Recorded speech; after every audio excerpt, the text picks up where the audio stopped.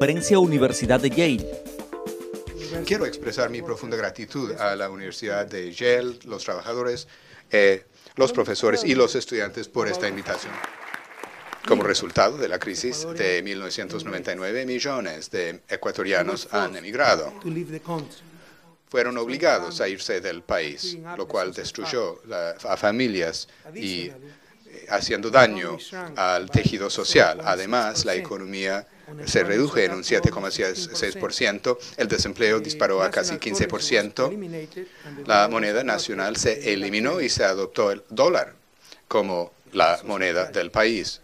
Fue realmente una tragedia social. Pero estos emigrantes son nuestros héroes, son los que sostuvieron a nuestro país con los dólares que trabajan tanto por ganar y que nos han enviado para sobrepasar la crisis. La inestabilidad era tal que hasta el año 2007 ningún gobierno pudo completar su mandato en 10 años. Hubo siete presidentes. Hoy, Ecuador es una de las democracias más estables de América Latina. Si bien hemos dado ciertos saltos importantes en Ecuador en términos sociales y políticos, ese cambio no se ha visto acompañado por cambios y mejoras importantes en la esfera productiva y uno de los problemas más graves del Ecuador sigue siendo el bajo nivel de productividad en su economía. Para resolver este desvínculo entre la política social y la producción, hemos adoptado una política nacional agresiva para promover el desarrollo de la ciencia, la tecnología y la innovación innovación. Tal vez podría señalar que los Estados Unidos no ha caído más de lo que ha caído en esta crisis económica mundial gracias al papel que juegan estas universidades mm, eh, excelentes, por ejemplo Yale, en la economía del país.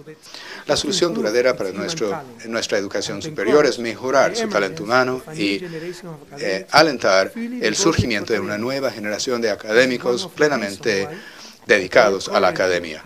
Es uno de los motivos por el cual Ecuador actualmente tiene a casi 8.000 becarios. La mayoría son estudiantes de posgrado en las mejores universidades del mundo. Hemos creado cuatro nuevas universidades públicas y por lo tanto gratuitas de clase mundial para el desarrollo de áreas cruciales de la economía. Los cuatro proyectos buscan combinar la calidad, la democracia y la pertenencia respecto al desarrollo.